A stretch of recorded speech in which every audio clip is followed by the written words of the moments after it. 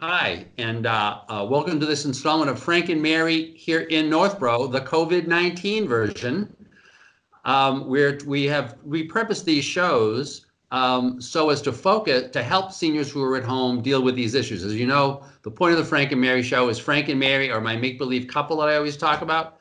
Um, uh, my name is Art Bergeron. I'm an elder law attorney. We always talk about Frank and Mary and their goal in life, which is to live in their house until they die and be buried in the backyard. So right now, Frank and Mary are homebound, can't get out of their house. They're totally stuck. They're here in Northborough.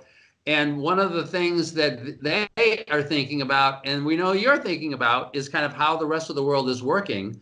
And so my my wonderful co-host, Chris Lindquist, uh, from the library, who agreed to, to be my co-host, uh, has been charged with finding the people that you need to know uh, and to, so that you can hear about the programs you need to know about, right? Uh, so, Chris, thank you very much for getting another great guest for us here today.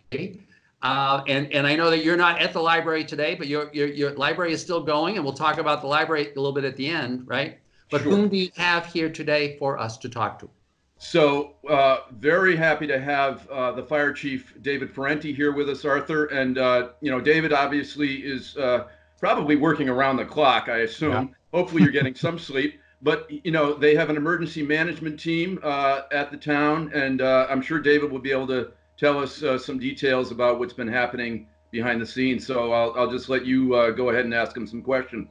And and that and that's great, David. I guess we'll both be kind of asking questions, but I think you know, if once again, if I'm Frank and Mary I'm at this point like totally stressed out, right? I don't, you know, I'm stuck at home. I don't have an easy way of kind of finding out what's going on. I don't even know are there COVID 19 cases here? If there's a person who shows up with COVID 19, how does that get dealt with, right? And and and and what are the various things that the that the players on the on the group that you're really directing now are doing in order to try to deal help people deal with day-to-day life and deal with what could be an emergency. We, we, we all know that we're going through what could be some really hard times right now. How, how should folks be dealing with all of that stuff? Yeah those are all great questions and it's uh it's been pretty crazy for the last three weeks. What we've been doing is we meet uh, at least once a week uh, sometimes twice a week and we've been meeting through zoom now and the team consists of uh, myself as the fire chief and the emergency management director, I hold both positions. Lucky me. Uh, the the police chief. Do you get a lot of extra pay for that? Uh, yeah. No, I get a lot of extra hours for that. Is what I get. Yeah, yeah. Uh, this the, is when you earn your pay, right? Yeah. right? The police chief, the uh, town administrator, uh, the financial director, Jason Little, also Andy Dowd, our town clerk, because he's coordinating all of our posts on on our website. Uh, we have uh, Greg uh, Martineau from the school district as the, the superintendent. Scott uh, Charpentier, who is our DPW director, and then they have some other people with them that are in there, their assistants, and we and we do this via via Zoom, which is a terrific. I wish I had stock in Zoom because uh, people have been going crazy on it. So so and also uh, uh our current uh, Ellen, who is our current uh, acting or interim senior center senior center director and the new director is supposed to be taking over, I believe, in four days. Yes. So I'm not quite sure if she wants to uh, step in and do that right now. Uh, but so we we all meet via via this uh, uh, via Zoom, and before that we were meeting in person to discuss uh, to coordinate all of our responses. And one of the big things we wanted to do is make sure we had a a standard message that came out from the town. It's very simple for the police to put out a message and then fire to put out something different and schools to put out something different in the town hall.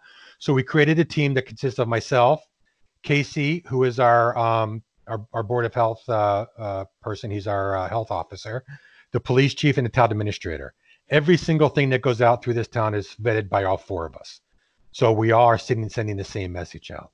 Then our other big concern was how are we going to get the message to the seniors? Some of them don't use uh, Facebook, aren't on uh, uh, in, Instagram, don't uh, access the internet the internet through different ways. So how are we going to get that message out through there? So we were trying to coordinate that through the senior center and making sure Ellen got that, Eileen, excuse me, got yes. that information out. So that was our goals. And then our biggest concern for the elderly initially was um, how do we maintain them getting their services? We were concerned with their with the with the bistro because a lot of people come to the bistro every day at the senior center to eat. So if that shuts down, or if we shut the senior center down because that was a high risk category, how do we maintain this?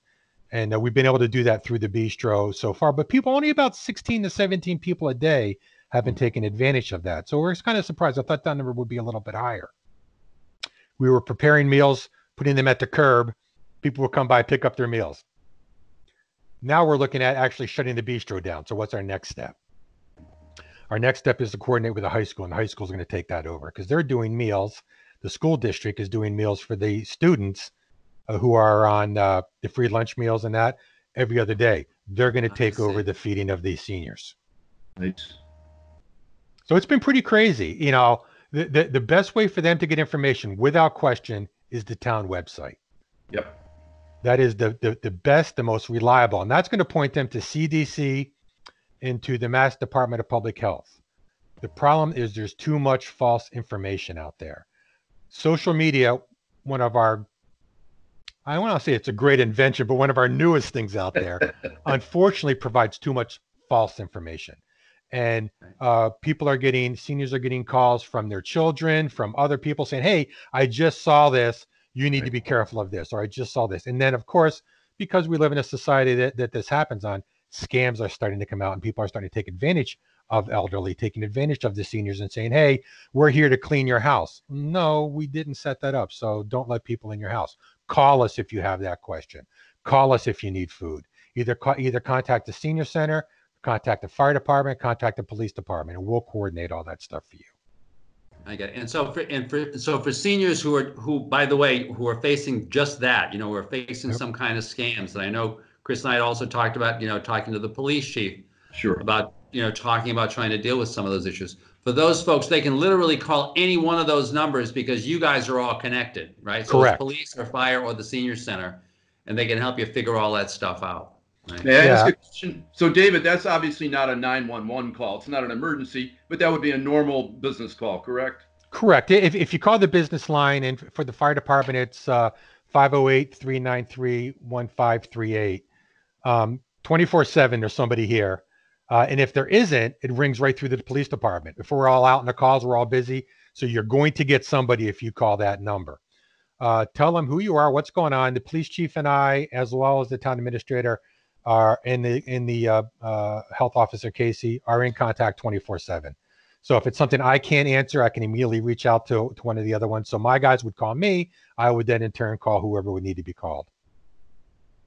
And, and, by the way, David, one, one of the reasons why Chris and I are kind of are, are decided to do this show or to kind of repurpose the Frank and Mary show is we realize that for a lot of seniors who you know may not have Zoom, they may even not be you know crazy about their internet. I still I do nothing but elder law, so I've still got a lot of people. Oh yeah. That I'll I'll ask I'll you know I'll be communicating. I'll say, do you want me to email you or mail? And they'll say, well, you know I've got internet. I said, no, that's not the question. Do you want me to email or mail? Well, maybe you should drop a line in the right because they're not comfortable. So right. one of the ideas behind the show was we realized that just about everybody, especially folks who are seniors, have got cable. Yep. And this, we really figured this is a, it's, it's a wonderful, we really want to just do another shout out to Northborough Cable yep. for the great job they're doing in just helping people be able to stay in touch this way. Right. So it's yeah, just, yeah.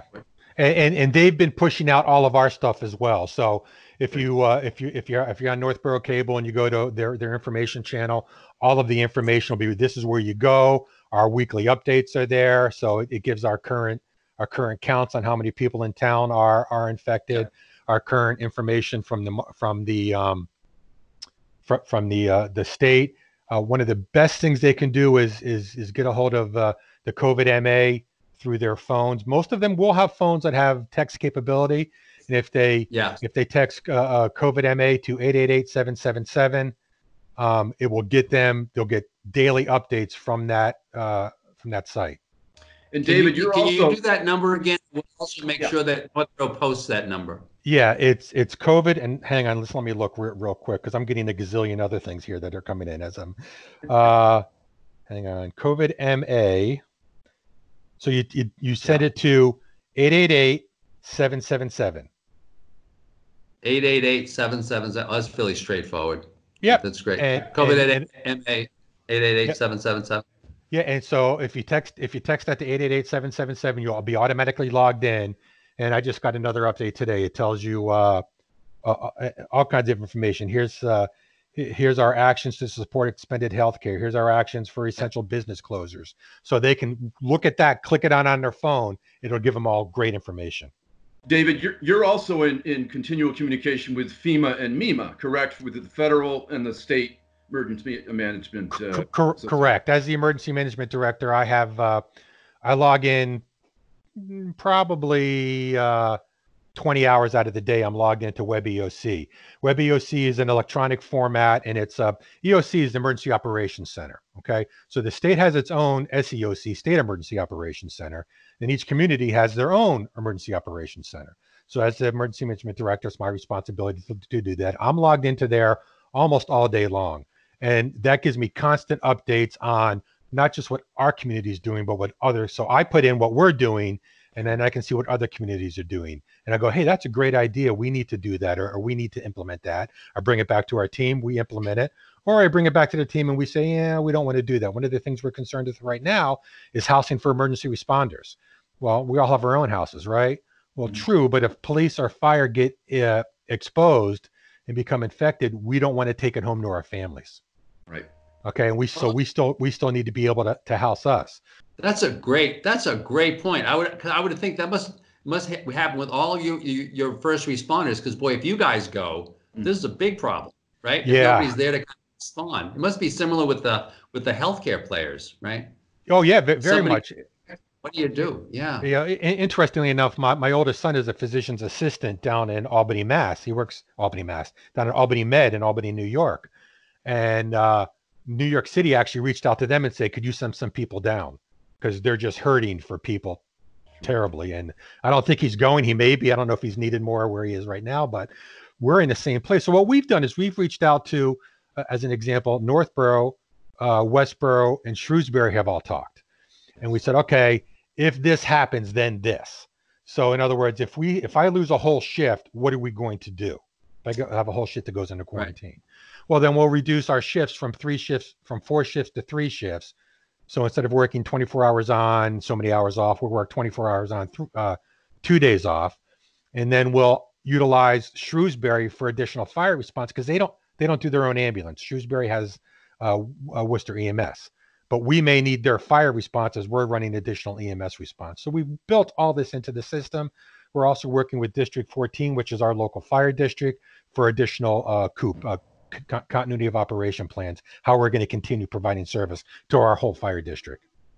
David, in one sense, since there aren't many people on the road, and believe me, uh, you know, I, I actually go to the library two days a week. We're doing split shifts, so I go in on Monday and Wednesdays and there's hardly anyone on the road now on the Mass Pike. It's mostly freight trucks and, yep. and a few a few cars, I guess. But um, you're probably not responding to as many accidents now just because there's fewer traffic.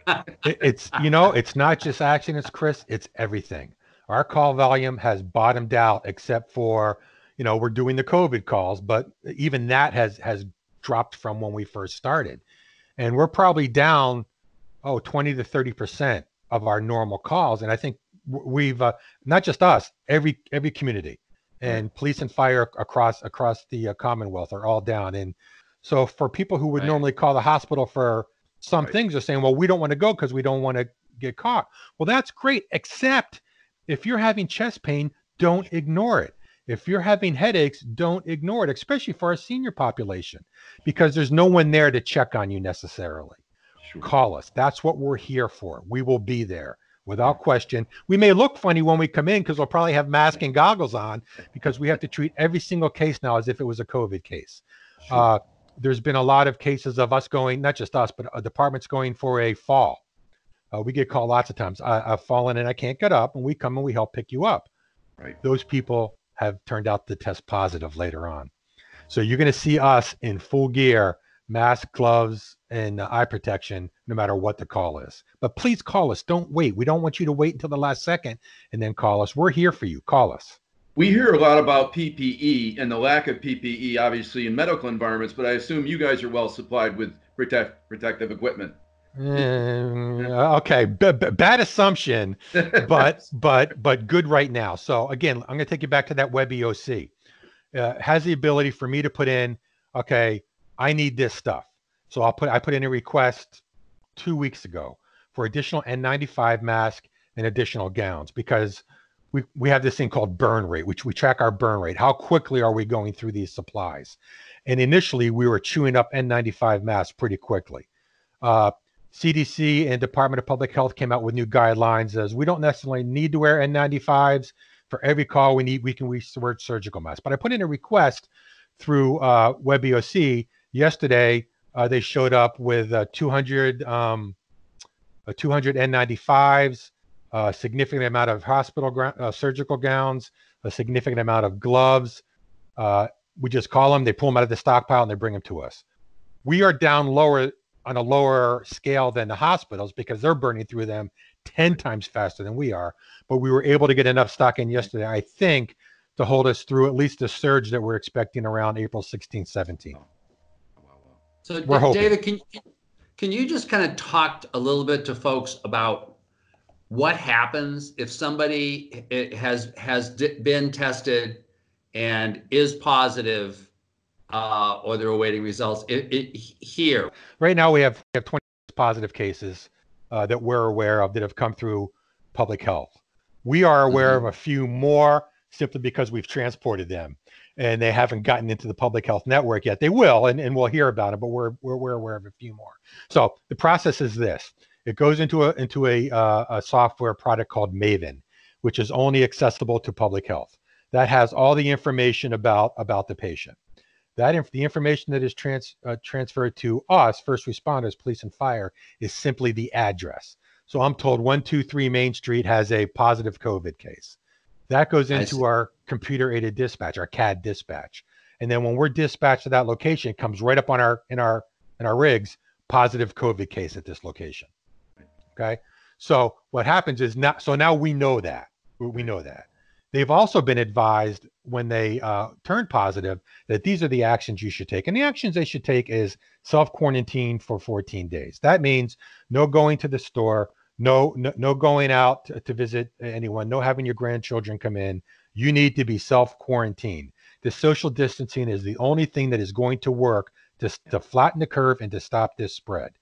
Um, so they really need to adhere to that. That being the case, if they need something, call us if you need groceries and you don't have anyone to go get them for you, call us. We will coordinate that. We're working with the school district with their buses. We're working with uh, the Worcester Transit Authority as well and through the senior center. So if you need something, call us. We will make sure it gets to you. If you don't have if you don't have family to take care of you, if family's going to take care of you, that's great. One of the things the hospital's trying to do is to, they're trying to divert and leave more people at home. If you don't need the advanced medical care and you can get through it, they're leaving you at home, but they're telling you call if this happens, if this happens, if this happens. You know, right. don't be afraid to call the fire department or the police department. We are here for you. Please call.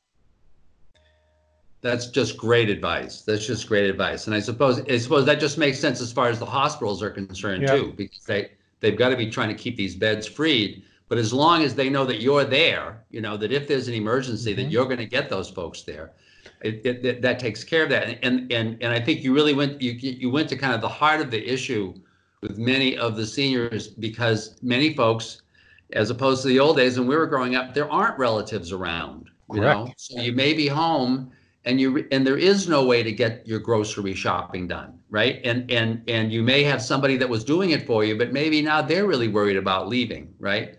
So the notion that there's somebody in town that is figuring all that out for you is like a big deal. Yeah, th- that is actually that that's the that's the just about the, the first topic on all of our all of our Zoom meetings for our team is are we addressing two major categories we're looking at? Are we addressing all the elderly needs and are we addressing all the younger people's needs? Are we getting food to those families that uh, uh, uh, those kids that need it? Are we are, are, we making sure they have what they need and the information they need? And are we getting to the senior populations? Are are are, are critical populations that we're concerned of.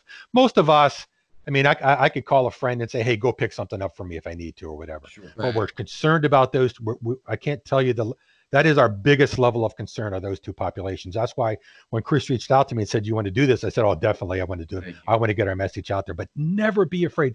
You'd be amazed how many calls we get from seniors and from other people that says, "I don't want to bother you." Right? Are you kidding? That's why we're here.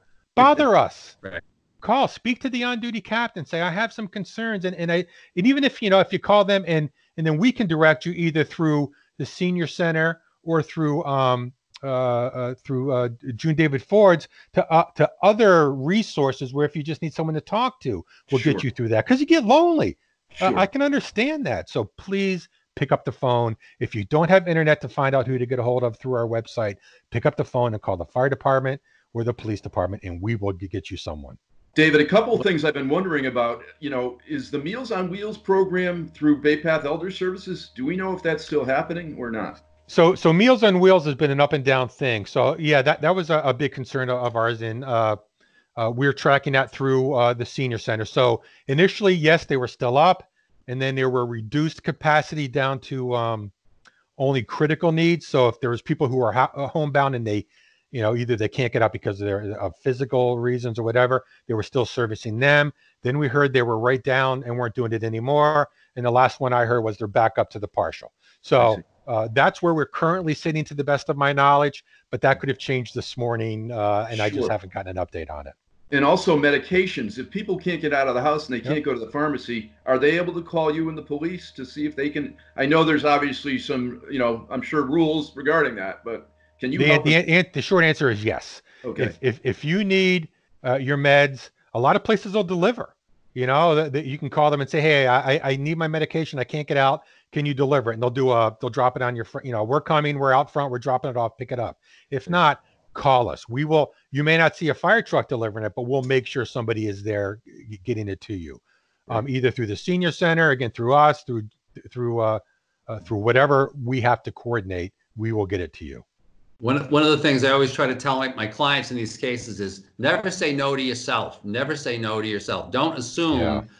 the fire department's too busy, the police department's too busy. You know, you let them decide. You know, you let them, you call and then let them say, oh, geez, we're all going to a fire right now. We can't, you know, you, let the, you, let them decide that, right? Because they Correct. work for you. Because they that, work for you. But by the way, this just relates to just a kind of a related question. I would assume that everything you're doing uh, you know causes a you know a, a it, it's a lot of manpower that yeah. was doing other stuff and that is now trying to do this so the question is are there you know from from your team or from you folks are there any volunteer opportunities for people who who are also at home and really feeling like they'd like to help out you know in any way that they think they could be useful yeah. is there any place where they could help awesome question complicated answer okay so this is not like your typical we had a winter storm, we had a tornado, we need manpower, we need people out there. This is something we don't want you going to see somebody. Right. We don't want you oh, knocking on yeah. someone's door and coming there and saying, I'm here to cook your meal for you. Okay. So, right. so we have that issue. We also have the vetting issue. It's, it's like we have some good people, but like I said earlier, we got some bad people. And we don't want someone to just show up the door. I'm, I'm here from elder services to help you. Well, who the heck are you, right? Yeah. So there, there, there, there is a. Uh, again, we have a link off of our webpage, and I know that, and everyone can get there. But you know, the best thing people can do is make a phone call to somebody. Hey, how you doing? You know, just touch base. Pick up the phone and call out there and say, "How you doing, Betty? How you doing, Tom? How you doing, Dave? Uh, I know you're lonely. Have you reached out to anyone?" And that is so critical right now to, to know that they're not home alone. You know, they are home alone physically, but we're there. We're there for them, and and uh, I would recommend that they, if they can get uh, onto our our web page, and again, any town web page you go to, if you go to the fire departments, we have additional information. Go to the police department, but they're all going to point you back to the main COVID page. Click on that and find out what can I do to help. And a lot of it is just those phone calls and donations. There's a, people are looking for donations. Um, if people have a little extra, that's fine. We have people coming in constantly wanting to bring us food, wanting to bring us uh, supplies. We have put in place uh, a, a, policy that says we can't take any home cooked meals Sim- for obvious reasons, right? But right. if if uh, we've had people bring in stuff from restaurants, we had uh, uh, the guys were thrilled. Was it last night, the night before? Texas Barbecue Company came in. Here you go, guys. You know, you know, and, and, and that's great for us because now we don't have to go shopping. Right you know right uh, uh, so it's great for us but if someone wants to volunteer that simple phone call is really critical but look online there are other opportunities we just can't have you going out there and and, and volunteering and taking stuff to people because then you're going to get exposed and it's really tough for for seniors because they have so many other issues going on. They have a lot of what we would call comorbidities or or or, or other illnesses that you may not you may be okay normally, but because of all these meds you're on, because of all these other things you got going on, it's not a good idea for you to get exposed. So that's why we're, we we don't want them just out there touching, you know, physically touching within the space. For sure, for yeah. sure. Chris, any, so other, any, any other questions? You know, I just wanted to say, David, that uh, you know, you guys, you practice this. You you do, uh, you know, tabletop scenarios. Yep. So you are well prepared. You've been doing this probably for your whole career, getting ready for these types of extraordinary circumstances. Correct? And I know that you know Michael Browiak and and you guys get together. I think you know a couple times a year. I've been a part of that tabletop exercises. I don't know if you know getting ready for a pandemic has been part of the preparation, but obviously you have a command, you know, system that is in place. And I know I've taken the I think the 100 and the 200 yeah. level, Arthur. Yeah. So there's an ICS uh, training, yeah. but I haven't taken the I don't know the advanced level. But obviously, you know, you you guys are exceptionally prepared, correct? I've been in the fire service since 19, since 1978, and, and, and I've been a, a, career firefighter since 1986, and I've been a chief officer since 2001. So I've been going to school preparing for this and working in emergency management for a long time. Uh, however, like you said, Chris, you can't be prepared for this. Oh my God, is this really happening? Pandemic. Yes. We prepare for right. natural disasters. We prepared for terrorist attacks. We prepared, and yeah, we talk about pandemics, and and we, we have things that we work with health department for point of distribution. If we like, so let's say if they do come up with a, uh, um, not not a not, not a uh, uh, immunity, but but some kind of some kind of pill, right? Right, right. right. Then we would activate our point of distribution plan that we've trained on and put in place. We're good for that. But this is just something that luckily we're we are falling back on. As you said, Mike Borowick, he's, he's he works with me emergency management. We're falling back on all our years of training and years of experience to say, what do we need to do? What's our next step? We're we're not looking ahead one day. We're looking ahead 20 days. And that's what I was right. just again before I came on this morning, assigning my different officers to different things. So let's look ahead. What do we need to do in 10 days? Where do we need to be in 20 days? But it's funny when you describe all of that. You know, I say to myself, "That's that's why people became firemen, right?" That's yeah. I, re, I, I, have a I have a cousin who uh, who was had been the state senator out here, a guy named Bob Durand for many years, but he always he really wanted to just be a fireman because he just wanted to be helping people. And I remember his mother saying, "You can't do this. You have to go to college." blah, blah, blah, blah. But he said, "But ma, this is what I really want to do." That's why people did this, you know. And so I, I could see folks really rising to the occasion here because it really is special and they want to be helpful and and they want to be you know open to you know the fact that this is novel you know that's one of the you know one of the challenges. That's the challenge of the job. You know arthur it's, so, interesting. I've i've had i've hired guys who have uh, pre-med degrees. I've hired guys who have uh, been working in the in in in this in the uh, public sector private sector i mean making a ton of money and says you know what this isn't what I want to do. I've always wanted to be in the fire service. I've always wanted to be an EMT, a paramedic, whatever. And I've hired these guys, and I'm like, "Are you sure you want to do this? Because you're taking a huge cut in pay." Yep. And you know what? They're thrilled. They're thrilled to be here and help them. Our guys are here every day. I haven't had one problem with anyone saying, "Oh, I don't want to come in." Nervous? Sure. Yeah, because they all have families at home. Here to here to do sure. their job and be here for you. Yep, we're here for you. That's great. Very so, so Chris, Yep. Chris, this was a pretty wonderful guest. Uh, you know, guest. you would say, you would said, "Oh, we have to get David Parenti. He'd be terrific." Blah, blah, blah. This is just he, this is wonderful. This, this is, really great. Wonderful. Yeah, thank you, David. We really appreciate it. And I think Arthur, next week we're going to have Christine Alessandro from Bay Path Elder Service. Excellent. Yeah. That's that's great. That's great. So really, thank you very much, Chris, for being willing to do this. Thank you very much, Dave, David, for doing this. You know, this is really, really valuable information. We're going to be doing these shows once a week. So, you know, we may, ha- you know, have folks back, or if you've got somebody that you think should be reaching out to the senior population, talk to Chris about it. We'll make sure that we, you know, we get them on here. All right. Yeah. W- without so question. Thank you very much. You need to get Chief Lyver in because he really needs to talk about the scams that are going on and yes. how the police are, are, are dealing with that. And and their department is standing up just like we are. Some incredible men and women down there. And uh, I really thank you for the opportunity. If you want me to come back, give me a scream. and I'll come back. Will do. Thank you, Davis. Okay, guys. Thank you. Thanks, Arthur. Chris, thank you. This is just wonderful. This is really Great. wonderful. And once again, a shout out. Thank you very much Thank to you, the guys. folks from Northborough Cable. And uh, we'll see you probably next week at the See next next week. installment of Frank and Mary here in Northborough, the COVID 19 version. Thank you very much.